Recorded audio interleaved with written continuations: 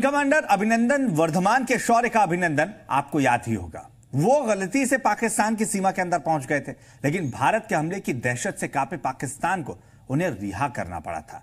पाकिस्तान के विपक्षी सांसद अयाज सादिक ने बड़ा दावा किया है। उन्होंने कहा कि कुरैशी और बाजवा के पैर थर थर काँप रहे थे। इमरान सरकार ने भारत के सामने घुटने मजबूरी में ही टेके थे।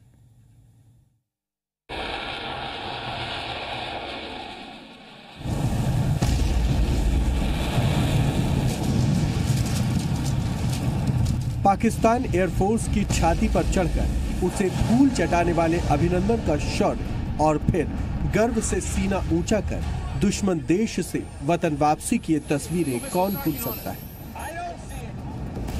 विंग कमांडर अभिनंदन की वीर गाथा सुनाती ये तस्वीरें देखकर हर भारतवासी गदगद हो जाता है। पिछले साल 27 फरवरी को बालाकोट के आतंकी ठिकाने पर एयर स्ट्राइक के बाद पाकिस्तान ने पलटवार की कोशिश की थी। लेकिन अभिनंदन समेत भारतीय पायलटों ने उन्हें ऐसा सबक सिखाया कि वो ज़िंदगी भर नहीं भूलेंगे। काउंटर अटैक के दौरान गलती से अभिनंदन पाकिस्तानी सीमा पर जा पहुँचे थे, जहाँ उन्हें बंधक बना लिया गया था। लेकिन भारत के हमले के खौफ से थर्राए पाकिस्तान ने 24 घंटे के अंदर ही उन्हें रिहा करने का ऐलान कर दिया था।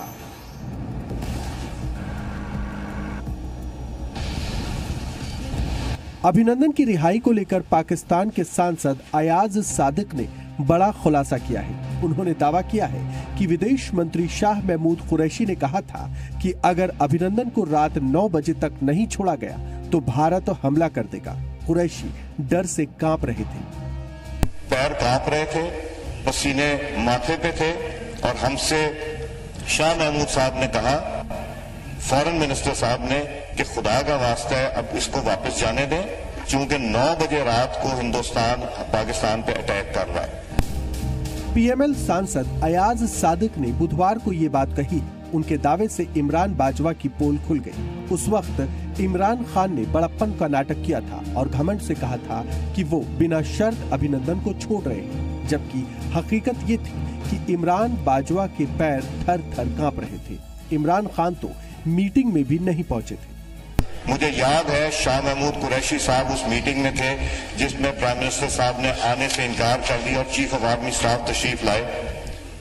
अयाज सादिक ने अपने दावे के समर्थन में विदेश मंत्री शाह महमूद कुरैशी की एक बैठक का हवाला दिया है। उन्होंने कहा कि कुरैशी उस बैठक में थे जिसमें इमरान खान ने आने से इनकार कर दिया था। कुरैशी के पैर काँप रहे थे उनके माथे पर पसीना था। कुरैशी ने कहा खुदा का वास्ता। अब इसको वापस जाने दें, क्योंकि 9 बजे रात को हिंदुस्तान पाकिस्तान पर हमला कर रहा है। अयाज ने कहा कि भारत हमला नहीं करता, लेकिन इमरान सरकार ने घुटने टेक कर अभिनंदन को वापस भेजा था। पाकिस्तान के कबूलनामे पर बीजेपी प्रवक्ता संबित पात्रा ने राहुल गांधी और कांग्रेस पर हमला बोला है, जिन्होंने सर्जिकल स्ट्राइक और एयर स्ट्राइक पर सवाल खड़े किए थे। अभिनंदन को बंधक बनाकर आईएसआई और पाक सेना माइंड गेम खेलने की कोशिश कर रही थी, लेकिन अभिनंदन दुश्मनों के बीच भी नहीं टूटे और भारतीय सेना की कोई भी खुफिया जानकारी उन्हें नहीं दी।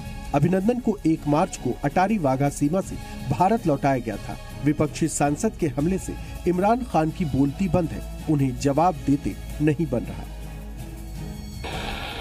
Bureau report, Zee media. ये सच उन्हें सुनने की भी ज़रूरत है जो हिंदुस्तान में लगातार झूठ फैलाने की कोशिश कर रहे थे। लौट रहे कुछ ही देर में। आप लगातार जी हिंदुस्तान के साथ रहिए। सफ़र में हो या घर पर, अब होगी हर खबर आपकी हथेली पर।